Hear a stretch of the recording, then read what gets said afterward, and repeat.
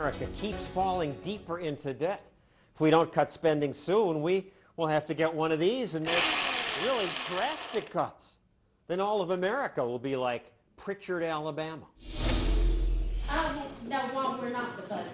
Why are we not the budget?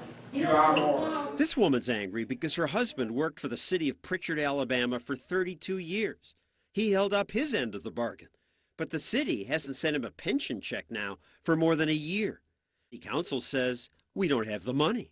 In 2003, an accountant warned the town you will run out of money by 2009. The politicians then did nothing, as they admit today.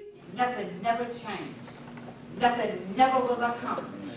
Right on schedule in 2009, the town went broke.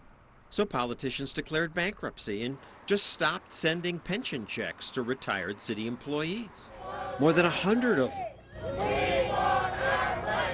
They didn't do anything that they were supposed to do. They didn't pay us like they're supposed to. Alfred Arnold recently retired from the Pritchard Fire Department after working 35 years for the city. He'd hoped to relax and travel, but when the pension check stopped coming, he had to get another job. Now, at age 66, he's a security guard at the local mall. His wife was a city employee too. She was a police sergeant.